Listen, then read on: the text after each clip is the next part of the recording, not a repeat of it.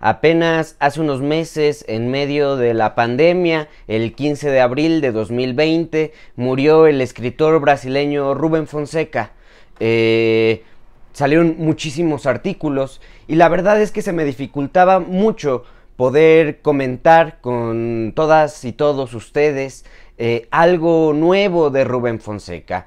Con esta idea de que tal vez ya conocía todos sus libros, de que ya había leído todo lo que estaba dicho de él, fue que me acerqué a la mesa y encontré otros libros que yo no había leído. Uno de ellos fue Mandrake, la Biblia y el bastón, una novela de este abogado criminalista que como ya hemos conocido en otras historias, eh, va descubriendo en la vida de un Brasil eh, agobiado por la cotidianidad violenta, grotesca, pobre, eh, triste, decide tomar el caso de Karin Alto Aguirre, una mujer bastante, bastante guapa, que llega un día para preguntar o para pedirle a Mandrake que le ayude a encontrar a un conocido, a un amigo, a un eh,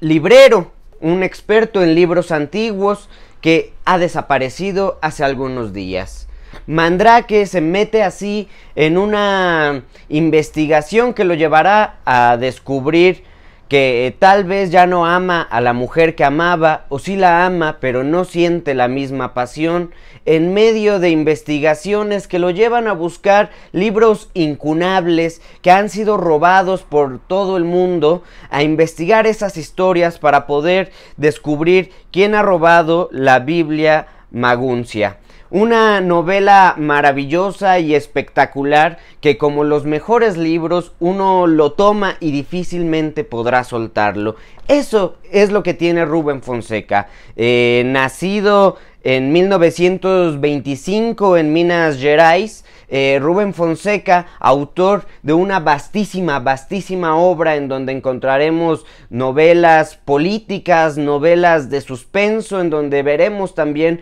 un montón de cuentos muy, muy bien escritos, en donde el lenguaje siempre nos va llevando por historias que pudieran ser un tanto grotescas o fuertes y por lo cual en los años 70 eh, Rubén Fonseca fue calificado como un autor eh, pornográfico y prohibido por el gobierno brasileño. Apenas este año, el 6 de febrero, Pocos meses antes de que muriera, Rubén Fonseca fue incluido en una lista de un ministerio de educación en Brasil eh, con varios de sus libros que no eran recomendados. Eh, la naturaleza ambivalente de los seres humanos entre el bien y el mal se refleja muchas veces en las novelas de Fonseca.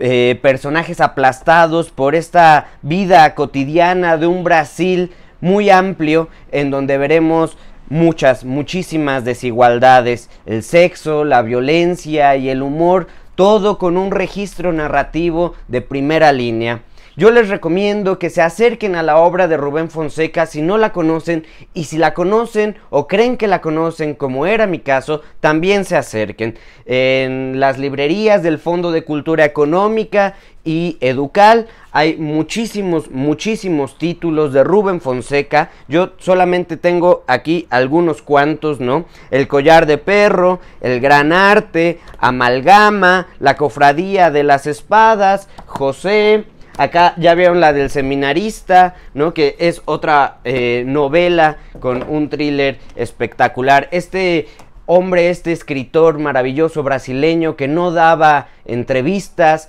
que decía que las conferencias le parecían un poco complicadas porque había demasiado en su cabeza, dejó también una amplia, una amplia, amplísima obra que tenemos en México gracias a la editorial Cali Arena y que en este momento pueden conseguir en las librerías del Fondo de Cultura Económica y Educal a solamente 70 pesos. Acérquense a Rubén Fonseca y sigan quedándose en casa.